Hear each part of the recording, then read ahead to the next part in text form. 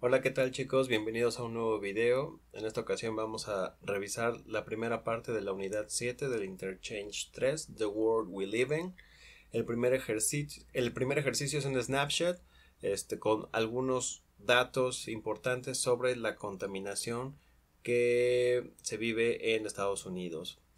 En el ejercicio número 2, las perspectivas Clean Up Our City eh, tenemos aquí a una City Council que sería lo equivalente a nuestro presidente municipal, este, nuestro alcalde, y está haciendo campaña. Y son las promesas que promete este, realizar en su mandato, eh, como arreglar X cosas, ¿no?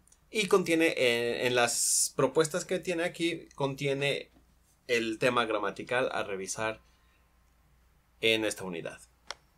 Ok, en el ejercicio 3 Grammar Focus lo que tengo aquí es, eh, ya habiendo revisado las propuestas de, de la consejera, veo que tienen dos temas, presente continuo pasivo, presente perfecto pasivo. Y vamos a revisar palabras claves de estas oraciones. La primera es by, eh, que es eh, por, as a result of, es como resultado de, due to, debido a, Through es a través o por medio de.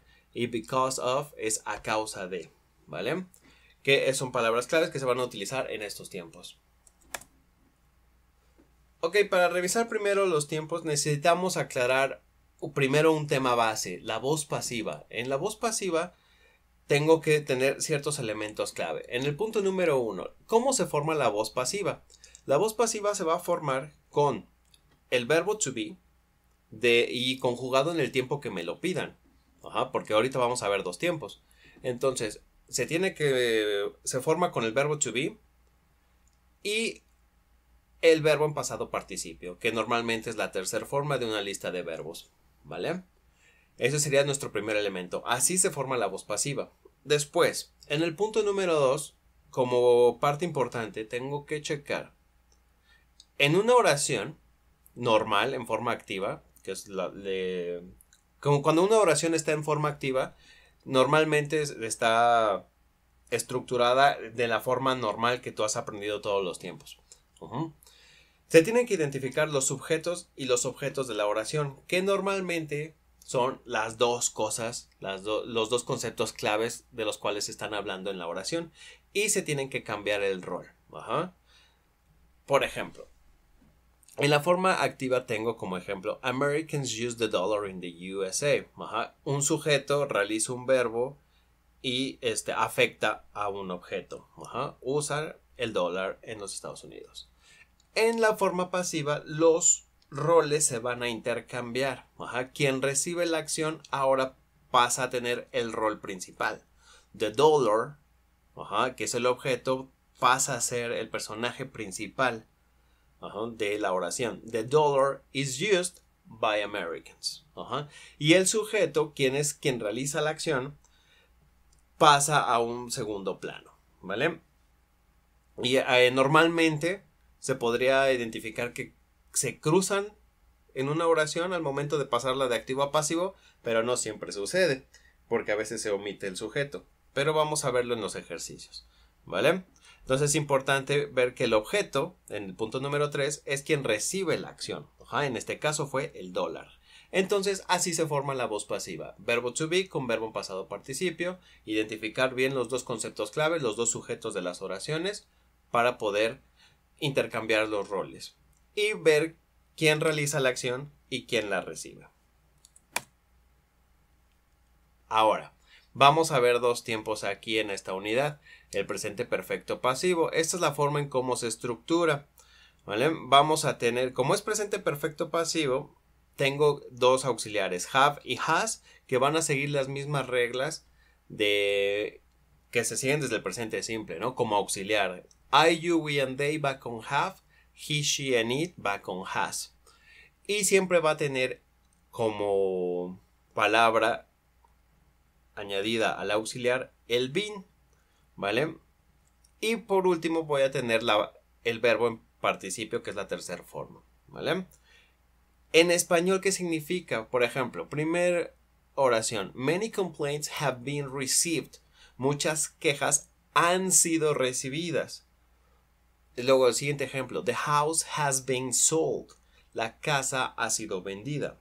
Entonces, eso es lo que significa la voz pasiva en presente perfecto. Ajá. Han sido y un verbo en participio. Han sido recibidas, han sido realizadas, han sido vendidas, han sido compradas. X cosa. Ajá. Esa es la conjugación en presente perfecto pasivo. Aquí tengo negativo, el auxiliar pasa haven't, haven't been y hasn't been. Bueno, hasn't been, perdón. Este es muy, eh, muy, eh, muy similar a la forma normal del presente perfecto que hemos visto en niveles anteriores. Y igual, eh, cuando es pregunta, sabemos que se intercambia el orden, ¿vale? Entonces, esto es el presente perfecto pasivo. Y el presente continuo de forma pasiva, igual. Recordamos que para hacer una forma pasiva debe tener verbo to be y un verbo en tercera forma. Pero el continuo también debe tener verbo to be y aparte un verbo en ing. Entonces va a ser ahí una combinación. Pero esta es la estructura, muy sencilla. ¿Vale? El primer verbo to be es el que conocemos, is o are, dependiendo del sujeto. Y luego de cajón vamos a tener being. Forzosamente vamos a utilizar el being para que eh, se, puedan cumplir las reglas de el presente continuo. Y luego para hacerlo pasivo, recordamos verbo to be y el verbo en tercer forma. Entonces being pasa a ser nuestro verbo to be para formar la voz pasiva. Y el verbo sigue la misma regla, ¿no? De tercer forma. Polluted, damaged, repaired. Aquí todos terminan en ed porque son verbos regulares. Si fuera irregular, habría que buscar la tercera forma. ¿Qué significa en español? The air is being polluted. El aire está siendo contaminado. The city streets are being damaged. Están siendo dañadas. Potholes aren't being repaired los baches no están siendo reparados. Entonces, aquí podemos ver la conjugación del presente continuo. Están siendo y un verbo en participio. Están siendo dañados, están siendo reparados, están siendo arreglados, están siendo comprados. Esa es la conjugación en presente continuo pasivo. Ahora, sí, ya tenemos todas las, las explicaciones de los dos tiempos que necesitamos para poder resolver los ejercicios de esta unidad. Ok, entonces, ¿qué es lo que tengo que realizar? En el ejercicio 3, yo tengo las imágenes. primero tengo que ver qué oración le corresponde qué imagen. Después, tengo que pasar estas oraciones de su voz activa a su voz pasiva, que ya vimos. Voz pasiva, verbo to be con un verbo en tercera forma identificar los sujetos y después intercambiar los roles. Eh, un sujeto realiza una acción y un objeto la recibe. ¿Quién realiza la acción? ¿Quién la recibe? Vemos el ejemplo número uno. Air pollution is threatening the health of people in urban areas. Y tengo que utilizar aquí el conector by que ya vimos qué significa al principio del video.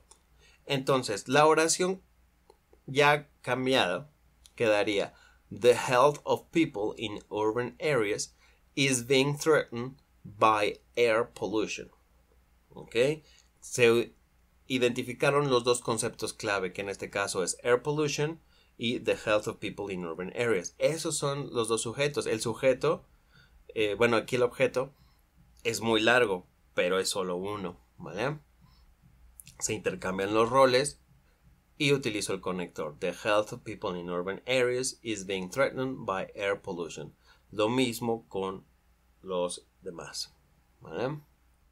En el punto número 5, Listening Environmental Solutions, vas a escuchar eh, eh, tres, de, tres personas describiendo este, ciertos problemas ambientales y tú vas a decidir de cuál están hablando. Puede ser confuso por el vocabulario, pero lo vas a, vas a identificar cuál es, ¿no?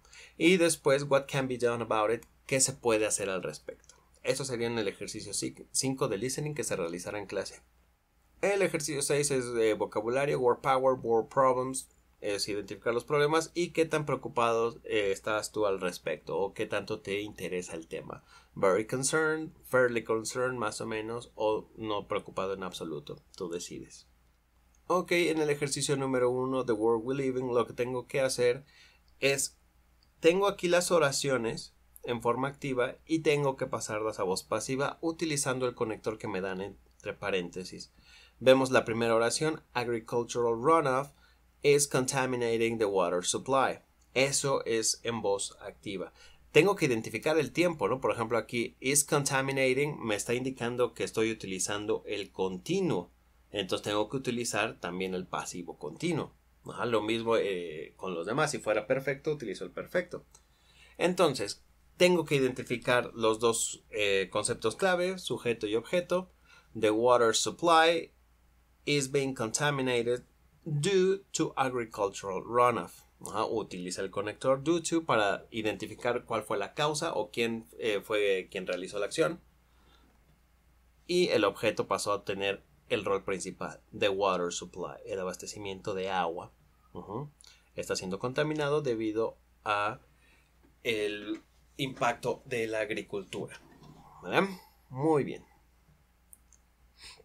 Y así eh, respondes todas las oraciones. ¿no? Aquí está 1, 2, 3, 4, 5, 6, 7, 8.